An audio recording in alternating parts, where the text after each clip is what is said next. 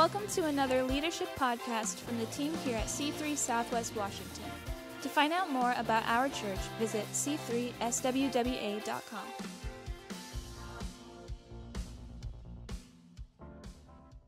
Uh, it's good to be in God's house. Let me just, real quick, before you're seated, um, let me just remind you that we're in a series entitled uh, "Intentionally, Intentionally Us," and uh, this series is what we are as a church family. What we're, what are our main ingredients that make up us? And tonight we're going to be on uh, number eight, and as we take a look at that, um, we're in 2 Corinthians chapter 9, verses 10 through 11. Check this out. It says, He who supplies seed to the sower and bread for food will supply and multiply your seed for sowing and increase the harvest of your righteousness. And you will be enriched in every way. In every way. I love this. To be generous in every way, which through us will produce thanksgiving to God. And so tonight I want to talk to you along the idea, the topic of generosity is our response. And these words are chosen very, very specifically. As a church family, generosity is part of our character and it is our response. Amen. And every time I use the word generosity, I want you to equate it with more than enough. You cannot be generous if you do not have enough. But when you have more than enough, you are able to take from the more than enough and share it with others.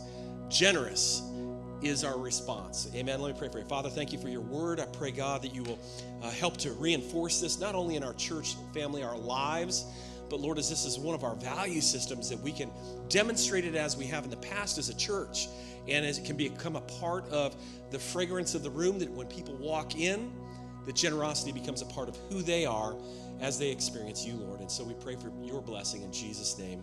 Amen. Amen. You can be seated um, every time that you're in this room. And tonight, um, we have a number of families who are at home who are uh, dealing with pre COVID, mid COVID, post COVID. I, I, just want to call it the flu moving on forward, okay? So that we, it's the flu. And uh, I don't want to demean it, and, but I also don't want to inflate it beyond what it is. We hate that uh, people are sick. If you're sick, stay home. But otherwise, be here. Okay, if you got an elbow ache, well, don't worry, I won't catch that um, go ahead and come anyways. But if you know you're sick, stay home. We want you to be confident with that, have permission to do that, and we support you in that. And get online and be a part of, of what's going on. Okay, looking at this portion of scripture. Oh, what I was going to say is. Uh, anytime you see that symbol with our um, with our wrench and our, our wheel during the season, our pre-launch season, we're just getting geared up to get relaunched out in the community. We're meeting on Saturday nights. We thank God for this borrowed building. We've been reassembling our teams. We've been adding new people to the group. We've been moving people around. A night like tonight, we get a bunch of phone calls. Hey, I can't be there. We're moving people all. You know, it's like playing some kind of game. We're moving the pieces around, and you guys all have such a great attitude in doing that behind the scenes, we're also working on the building. They have really ramped it up this week, okay? Um, I said, told you last week that the sign is up uh, on both sides of the building. So drive down uh, 500 and notice it all lit up at night or during the day. It's nice and dark. We're on the front of the building. They started framing and finished it up early this week. That's an old picture from last week. Plumbers have been in there. They got it all plumbed out. Election, electrician starts on Tuesday. He'll spend two weeks and he'll be done. Okay, so then there's drywall, there's, there's other things to still do. Really shooting for an early March move-in date, but listen, you know, don't don't don't bet on that horse. Okay, bet on February. Okay, so um, so with that, uh, just thank you for your patience with that, and let's take a look at this portion of Scripture. Um, Second Corinthians, in this portion of Scripture, it's a it's a, a beautiful piece that's nestled in a dialogue between Paul and the church at Corinth about an offering that they were going to receive. And it's kind of like our vision builders offering. We talk about that every year. It's what is our what is our initiative for this year, the great thing that we want to do. And over the last several years, we've done vision builders. Um, we've given a large portion of it to our, our facilities fund, which enables us to do this build out. But we also designate a large portion of the vision builders to things like church planting. We have helped uh, churches in Tex, uh, Texas, Pastor Kerry. We've helped this last year, Pastor Seth and Karen, to purchase a building. We, we handed them 12 grand. We gave, um, how much? $25,000 to, to Hope City? I think that was the amount. Trisha, is that what it was? I mean, our church has done some significant things. We supported our missionaries down in Oaxaca this year. We have uh, sent money for the children at, at Trigo Email. I think it was close to $8,000 this last winter. And so this scripture is kind of in the context of talking about the Vision Builders offering for this particular church, but they hadn't received it yet. They had advertised it, we're going to receive it. But it becomes a great venue for the Apostle Paul to talk about ideas of being generous. And I grabbed onto this scripture because it's just so profound. And as you look at these verses, let me just give you a couple of things that I think are worthy of your attention as you look at these verses. First of all, um, you discover that in these verses, you and I, we are all, we're like farmers. We are people, our lives are like farms. There is a, uh, a field before us, and we want to use our lives to accomplish things. Number one, we have our basic needs, which is our bread. And you see, as a farmer, you need, you need to be able to eat, and yet you're investing some of your resources to create a more than just the basics of what you need. You need the bread to eat to survive, but you're sowing the seed into the ground to create something more. And so you are that farmer in this portion of scripture. But as you start out, you don't have any bread and you don't have any seed. You need the seed to make bread, you need the bread to eat, but you don't have either. And so in this portion of scripture, God introduces himself as your source. And man, I get, I'm sorry if you're not excited. I'm just gonna be excited by myself. I'll dance a little jig up here for a few minutes and we can go home. But God dis- reveals himself as our source. Now, we might get our bread, we might get our seed through other conduits, but God is saying to his people, I am still your source. And so he reveals, I'm going to provide your bread in this, these verses. In other words, I'm going to meet your basic needs. And so many people have limited God to that context. Well, God's not obligated to do anything beyond that. I mean, He said He'll supply all of my needs according to His riches in Christ Jesus. And while that is true, it's only partially true because He goes on to say, Not only will I supply your bread, but I'm going to provide for the seed that you can sow into the ground. God is going to supply the bread, your basic needs. God is going to multiply, he says, the seed for sowing. And I say it like this bread is for your needs, seed is for your more than enough. Bread is for just barely enough, seed is to create more than enough. And the scripture goes on to say that God is going to multiply that seed. And why is he going to multiply the seed? The Bible says there to increase your harvest of righteousness. Bottom line, when you really kind of parse this all out, you get this idea that God is wanting to push more into your life in all fashions, not just money. The seed represents joy, friendships, relationships, opportunities at work, business opportunities, friendships, great moments in life, opportunities to serve incredibly. That all turns into your harvest of righteousness. It's basically thriving in life. You'll hear us use that word all the time thriving. There's survival and then there's what we call thrival. The heart of God is not just for your survival. He doesn't want just enough. He wants you to thrive. Amen? Okay, shake the person next to you. Say, wake up, you need to thrive. Start thriving right now. You are thriving, act like it. If you need to go an elbow a little higher, go ahead and feel free to do that and tell them God bless you as you do. Now, what, what's the result of God giving you that extra uh, multiplied seed? ultimately you will be, get ready for this word. This will rub some people the wrong way. The word there is you will be enriched. I'm just telling you, it means to be made rich. You know what that means? Uh, you parse that down to the original Greek. It means that your life will be flowing and abounding. The root word actually is there, is the picture of sailing. Your life should look like a, God's heart is for your life to look like a sailboat with a force outside of you pushing you through life. That's the picture of being enriched. That it, uh, just enough is that the boat stays buoyant and doesn't sink, but enriched is that you're being propelled along by the goodness of God's favor to move you to the good destinations of life. That's the picture that God is painting of you. Amen. Some of you are like, well, I don't deserve that. I know you don't deserve that. You don't even deserve to be in the water. You should be hung up on the rack someplace with the rest of us. But God has said, No, no, no. I want to bless your life. I want you to thrive. Not only are you're going to be in the water and be able to be stable, but I'm going to get behind your sail and push you through your life. And if you're as young as I am, that's a lot of life ahead. So you get really excited. Those of you who are older, I mean, maybe it's not as exciting, but for me, it's very, very exciting. Okay? Enriched how? The Bible says in every way. Don't buy into this. This is about just money. Now, it is about money, it is about resources, but it's about health, it's about opportunities, it's about good, full, thrival life. Anything that attaches itself to your life falls into the category of things that God wants to enrich. Well, I'm not really sure He wants to enrich my, my, uh, my hobbies. I, I think He does. I think He cares about that. Well, none of the disciples had hobbies. We see a three year window of their life promise you that there's more to living than just that. Okay? God wants to enrich your life in every way. Why? The scripture goes on to say, so that if God is generous to you, what can happen? So that you can then turn around and be generous to others.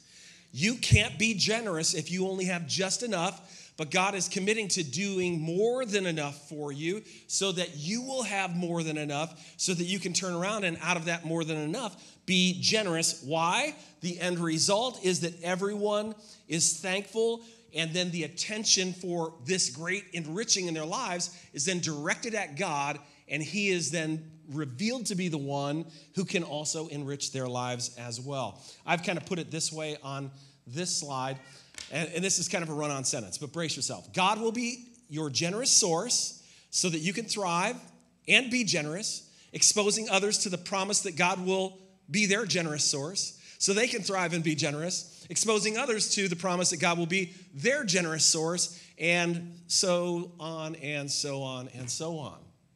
You know, we had a couple, many of you know that we have an Airbnb in our house, and early in the pandemic, there were a lot of people moving around using Airbnbs to decide now that I can work remotely, where do I want to live? And we had this younger couple that had booked four different Airbnbs for a month at a time. And, they, and they were all over the country. And so they moved over here and they were going to check it out. And do we want to live life here? And they were in their early 20s. And uh, I think we were, were, the second stop. And uh, they, they enjoyed it so much they stayed for an extra month. And that was just crazy good. But they're one of the few people that wanted to know could we come upstairs and could we meet you because most people they pull in they wave and it's, it's not weird at all you know you're just like a host and this couple was like we'd love to come up and we want to bring you something to eat and i think they brought a bottle of wine and wanted to talk and so they were very like goal oriented and they began to ask what we do and kind of some stuff like that. And we got talking about the Airbnb and rental properties and my background a little bit with some of some of the real estate stuff I've done. And she's like, "Okay, so how did you get to that place? How did you find yourself in this situation?" Oh yeah, let's go. Do you really want to hear this story? And so I began to share that my very first house I bought, we, we, we tried to buy when we were 29 and we didn't have the credit to be able to purchase the house. So we got involved with a sweat equity program. And in building the house over a year, doing all this work, I didn't know how to build anything. I spent a year building the house, and a week after we moved into the house, all of a sudden a landslide a mile away starts and doesn't hurt our house, but kills our house's value. We could never sell it. People are moving out of their houses, they're running away because, you know, the sky is falling like it always is, even to this day. And in the process, God, we prayed, God did us a miracle, and we ended up keeping that house and renting it out and moving into another house and living in an even nicer house. And through the tragedy that we were experiencing, calling out on God, God can make your worst day into your best day.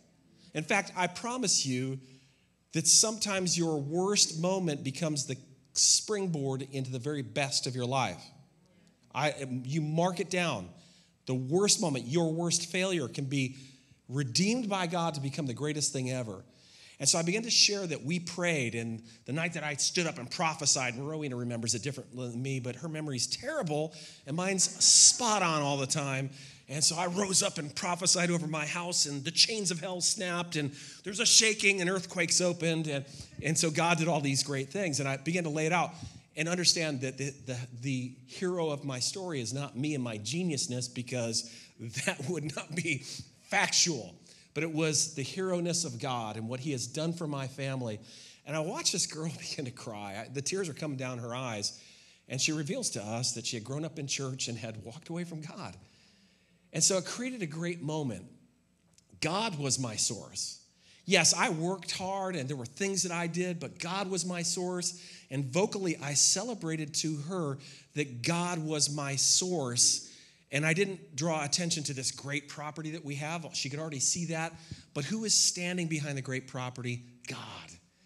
And in that moment, you could just see it in her eyes. Ah, maybe he could be my source too. And I don't know how it's turned out. I don't. I, we talked for a while and we were, got to be friends, but they've moved on. It's been two years now. But that was a part of the discussion in her life that came through us. And so this really rings out true. God wants to be your generous source so that you can thrive. And as you thrive, that you can be generous, which then exposes others to the promise that God will be their generous source. And so they can thrive and be generous, exposing others to the promise that God will be their generous source so they can, and you know, dot, dot, dot, dot. If you're generous, this is how things will flow through your life. If you can understand that God is our, your source and that He is going to be generous. So, a couple of points for you tonight in the remaining time that I have. Number one, God is our source. And it's so important. I'm going to say the second part, and He is generous. And this might take a shift for you to get into. In fact, you might even be able to say amen or amen or woman, or however you personally do it, you know, feel free to, to use your own way about that. And we won't judge you at all. at all. Um, but God, God is your source, and you need to see him as generous because your posture in dealing with God will affect how he's able to interact with you. For years and years and years, I bought into this philosophy that I heard in the church world around me that it would be wrong to have anything extra. It would be wrong to, to ask God for something you want. You should only ask God for the things that you desperately need and be thankful for what you have and just be satisfied there because anything above and beyond that certainly doesn't fit into scriptural concepts. And yet, when you begin to look in the scripture, you begin to discover God is generous. I don't know about you, but how I used to pray, I prayed, oh God, please, please, please, God, please, God, please, God, please, please if you're willing, I, God, I, I, and I'm trying to validate to God how real my need is because what I picture is God squeezing onto his supply, and I've got to somehow convince him or pry out of his stingy fingers the thing that I need. But the reality is, that is not the God of Scripture. That's not the God of the Bible. In fact, just a couple of, of, of, statements to make to you that, that this idea of less than enough is not God's design. It's not part of his original plan. It's not going to take place in heaven. It is the design of the wicked one. It is the byproduct of sin. God does not withhold, God is not stingy. God is a God of more than enough, as you read in Scripture. A couple of examples Exodus 3, verse 8, the, the uh, people of God, the Israelites, were in bondage and of course, that's not enough. It's less than enough. God wasn't pleased with it. So God wanted to lead them to a place of more than enough. In fact, as he describes the place that he's going to give them, he talks about it being, you know, we're going to release you from the hand of the Egyptians. We're going to bring you out of that land to a good land. That should be enough, right? But the description goes on to say this not just a good land, but a broad land. No, no, no, no, Lord. I don't deserve that. Just give me, just give me a little swatch of, a little patch of grass where I can just kneel down and be thankful. No, I'm going to give you a good and broad land. And he goes on to say it's going to be a land flowing with milk and honey. I don't know how much milk you need. I don't know how much honey you need, but I don't need the spigot to flow. And yet, God is saying through this description, I want to bless you. I, I don't, I, I, I'm glad to provide your needs, but I want it for my people to be more than enough. That's not my desire for me, that's God's desire for me. Scripturally, look at John chapter 2, verse 6, and it talks about the first miracle that Jesus did. Fascinating. There were a couple that was getting married, and how many of you know somebody who's less than administrative who tried to pull off something administrative, and you're all standing there and supposed to eat something, and there's a couple of Twix and you know maybe old bag of potato chips, and there's 45 people in the room. You're all looking around at whoever was supposed to order, and in this case, the groom was in charge of the wine, halfway through the wedding, they run out of wine. This is the first miracle that Jesus does. Now, if you are like me, I'd be like, you know what? Serves him right. The guy needs to get his day timer in order and get stuff ordered and stop messing around all the time and have his plan and execute it. And, you know, do you feel like that sometimes? Is it just me? And then so when things fall apart, serves him right. And yet, Jesus steps in on the scene, and there's this need for wine. And it's a couple's special event. And his mom is moved by that, and he responds, not in a, this is not a need. You, you hear me? It wasn't going to be the end of the world if they ran out of wine. They'd be making fun of him for a long time. Yeah, yeah, moron. Remember when you got married and ran out of wine? Here's the pictures. Here's the beginning of the wedding, and here's the end of the wedding. Everybody angry. Where's the wine? And so Jesus steps in on the scene and he does something crazy. He asks for them to grab the six water jars. Each water jar held 30 gallons of water, and he turns that into wine. So let me do a little math for you here, real quick. Six jars turns into 180 gallons of wine which is 681,000 milliliters of wine, 950 milliliters to a bottle. That is 717 bottles of wine. Okay, let's do this. And when they bring the wine to the guy who is in charge of all the banquets, who's been at a lot of weddings, he has established a lot of weddings. He knows the cheap wine, he knows the middle of the road wine and he knows the fine wine because this guy runs the banquets, okay? And when he tastes this wine, he says, Whoa! Most people serve the decent wine at the beginning and use the garbage at the end so that no one will notice. But you've brought out the finest of wine at the end. So, just a little math for you. Certainly, you know, this 717 bottles at at a cheap wine, $10 a bottle from Rosauers, do the math on $7,000 worth of wine. There's no way that this wedding was the size to need that. And it wasn't like, hey, give everybody 30 bottles. But what he was doing is he was fixing the shortage, the not enough at the wedding, and saying, not only am I going to give you enough for the wedding, but I'm going to give you enough wine so that you can maybe return, you know, to the vendor or so that you can sell in the market. And I'm going to give you 7,000. You probably only need $2,500 worth of cheap wine. Remember, this ain't cheap wine. But if it was cheap wine, I'm going to I'm going to give you more than enough. I don't know about you, but in today's economy, you start calculating it out. A decent bottle of wine, I mean, like a good bottle of wine, would be $71,000 worth of wine that Jesus gave them. But if you're really looking at some of the finest wines, and this is not even top, I was at a restaurant recently, they brought out the wine list. I was with some people, and all of the bottles of wine, trust me, we did not have one of these, were $500 a pop. And I was like, I have, I can't imagine. Is it like gold and like gets on my tongue and I'm like, you know, 16, I don't, I've never had a, you know, and, and, and someday, let me look you in the eye. Maybe I will have a $500 bottle of wine. And I'll let you know, or maybe you already know, you can tell me now. And, and if there comes to that moment, that's not my everyday world, okay? But if it was a $250 bottle, well, by that way, by the way, I had half a glass of I think it was, they bought a $90 bottle of wine. And it was, I couldn't tell the difference, honestly, between a $10 bottle of wine. But if it was a $250 bottle of wine, which would be a real fancy bottle of wine, Jesus gave them $179,000 worth of product. At a wedding for a dummy groom who didn't do his job. You know why? Because he wanted that couple just to, it's their wedding day. Man, if I was a dad and I blew it like that, and Jesus shows up and makes up for my not enough and turns it into more than enough, people are praising this group. Oh man, that dude brought out $250 bottles of wine and took an extra one home. And that groom was able to sell it and do something honorable for his bride. The heart of God is for more than enough in your life.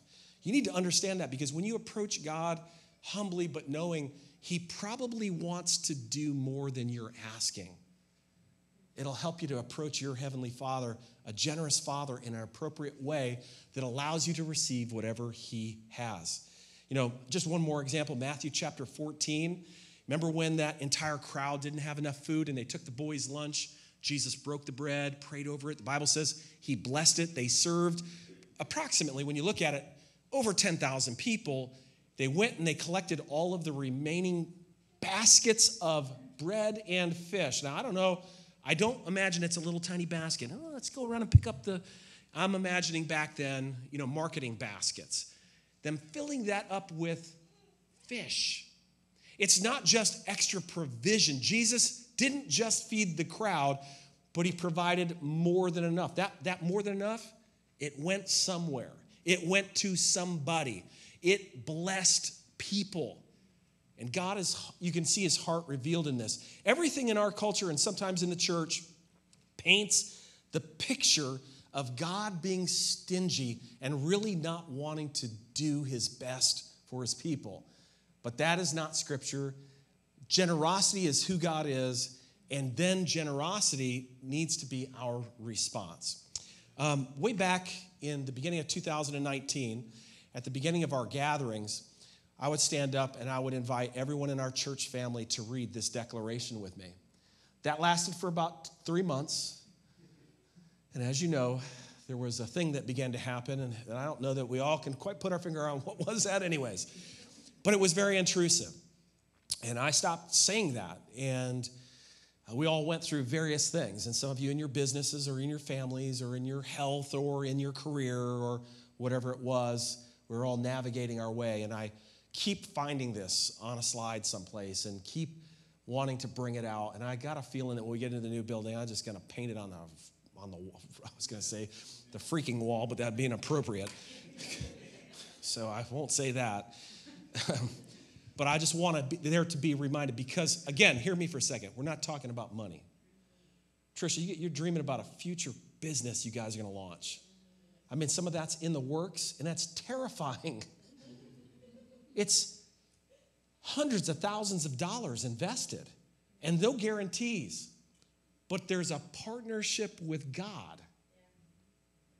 And I know who I'm grabbing onto if I know him as the God who is generous. Now, the problem is, all the whispers in my head all day long when I listen to the news, when I listen to social media, sometimes when I listen to myself, I get a picture that God is less than generous.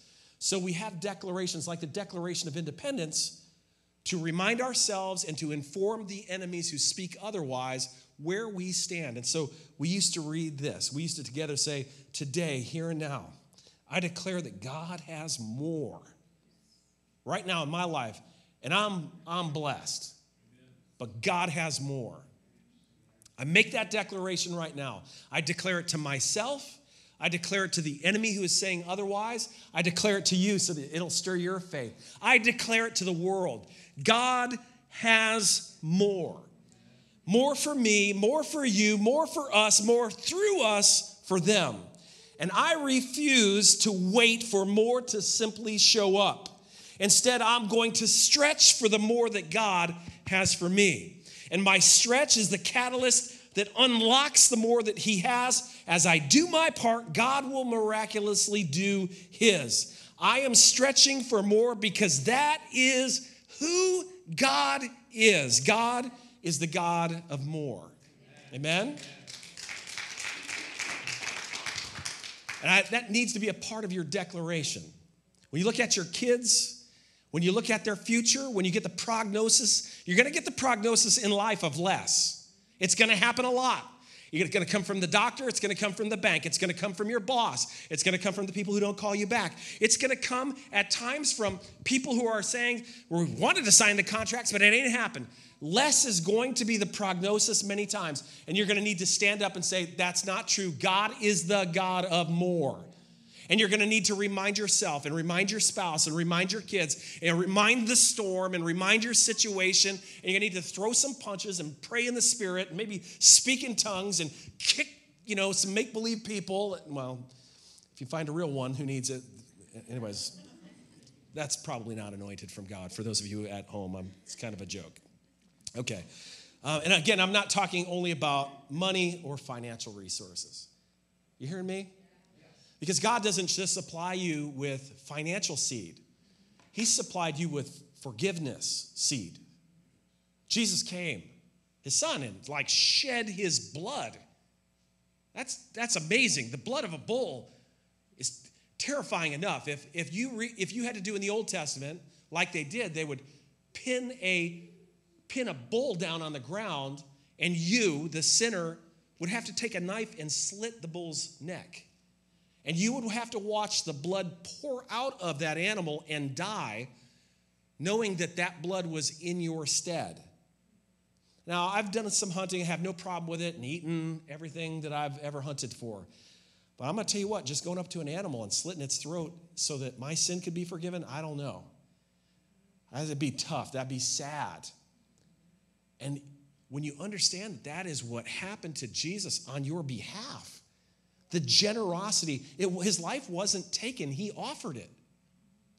That is how God, and generous God is. You come after one of my kids, and you're going to have to go through me first. Well, you probably have to go through Rowena first. She is not the one you want to even have to deal with. Go through me first, okay? I'll get knocked out of the way. Her, that's going to be like tangling with a, a rabid squirrel. You going down, it's going to happen, you know? Um, but the father just willingly offered his son. You're like, I want to see that. well, I've seen it a couple times. It's just, it's a flash, it's a look. You can see it, it's terrifying. So I step back. I could get off track here. I could tell you a couple stories that are hilarious. Um, forgiveness, blessing. You know, God is an encourager, and we need to be generous encouragers. God is generous to give praise for the good things in our life, even when we've got some bad things. And so he wants to be us to be generous, to do the same to others. And the list could just time, help, encouragement, all of those things. Uh, let me give you point number two. Generosity is our response. And again, that's to his generosity. It's so key. You don't give to get, you give because you've gotten. But the giving because you've gotten lubricates the future to allow the giving process to continue in your life. Uh, 2 Corinthians 9:11 says, "You will be enriched in every way." That's first to be generous in every way. And so we are generous because he is generous. I'm going to skip point 3, but I'll just read it to you really quick. Tithing actually isn't a form of generosity. Many of you tithe. We thank you. It puts bread in the house, but it's part of your covenant. One of the great dangers for people who tithe, who are legalistic tithers, is to say, I've been generous, now I can go and do what I want. And that's not generosity. Uh, let me just say this really quick. If I made a deal with you that I am going to give you $10, Val, every week, and you can bank on it. Now, I'm going to give it to you through a bunch of different people, but when I give you the $10, it's me supplying. You're going to have to show up maybe and you know, work at the gym, or you might have to go work cutting some lawns, or you might have to tutor a student, or you might have to, you know, babysit, okay? But I'm gonna get you the 10. Now, I promise you it's coming from me, but in our agreement, so that you recognize that it's coming through me, because I'm not gonna give it to you, it's gonna come through other people. I just simply want you to give me one back. It's mine.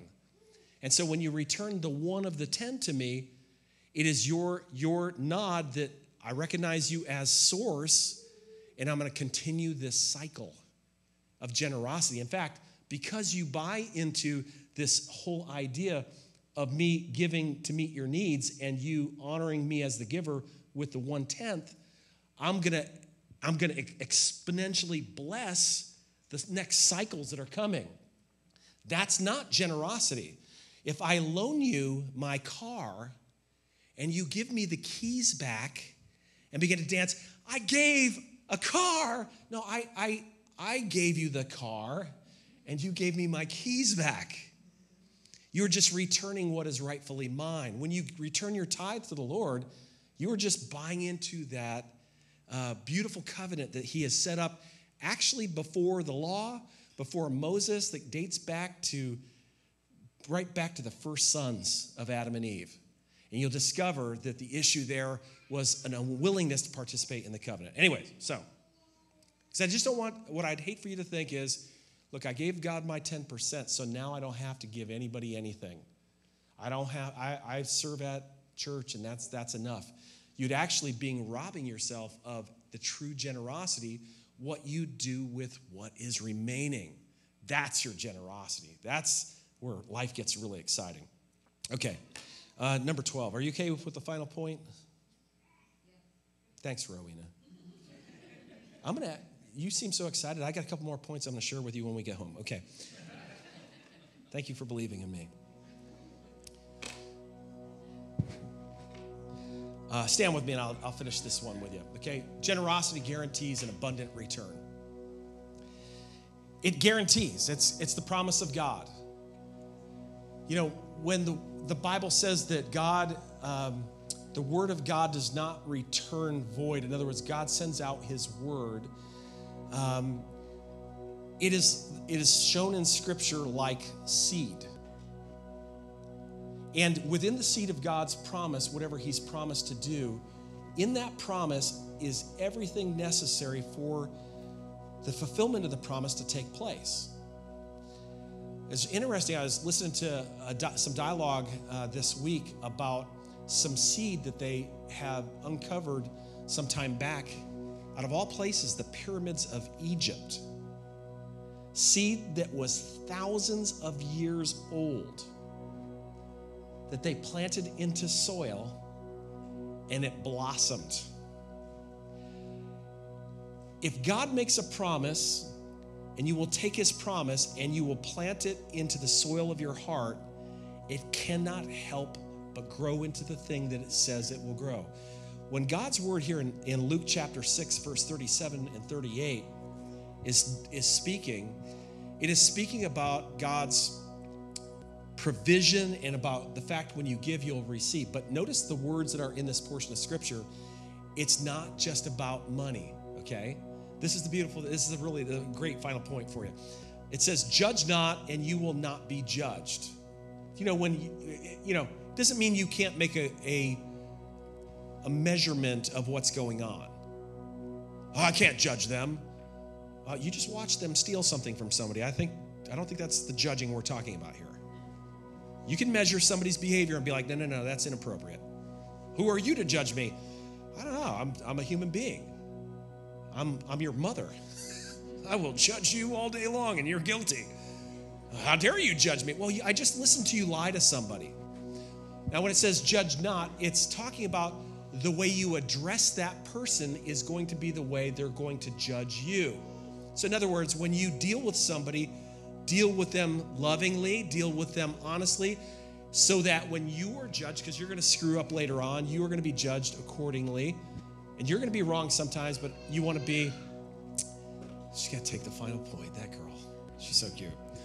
Uh, it goes on to say, Condemn not, you will not be condemned. Forgive, and what?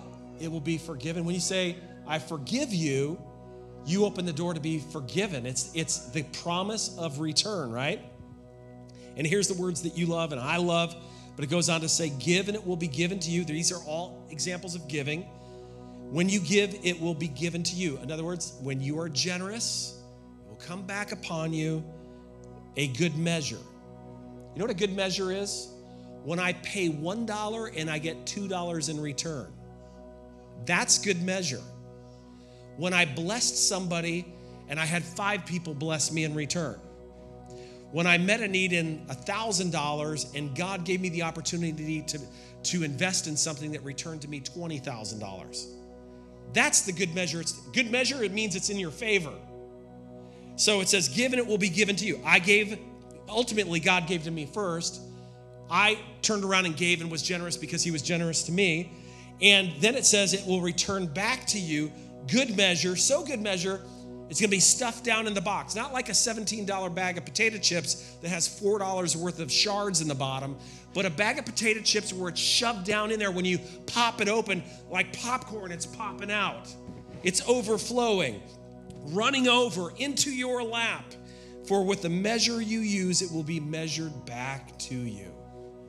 We are generous because He was generous to us first, but generous is our response. You know, last year, wasn't one of our biggest giving year, uh, receiving year as a church family, but it was our biggest giving year that we've ever had.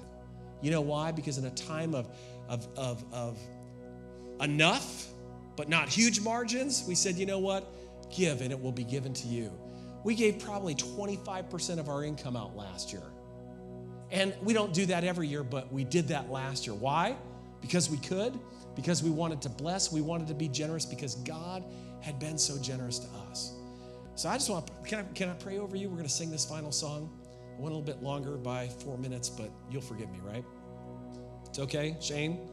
Okay, so if they come after me, you're going to block, right? Yeah. Don't worry. I'll let, let Raina take care of it. She's got it in good hands, right? I want to pray over you. I pray that if you're struggling with generosity, that God will turn your eye onto the fact that anything and everything you have right now or ever have received, He has been your source. And if you will see Him as source, your heart will change immediately. So I'm going to pray that. Father, I just speak out over your people, the people who are at home. Father, maybe people in the room who are becoming your people. And Father, before they were ever living and before their first sin or their thousandth or worst day, your generosity in the form of your Son was given wholly and generously to their lives so that they could be blessed in every way. Not just make it to heaven, not just be forgiven, but struggle through life, but so that they could experience abundant life in every way.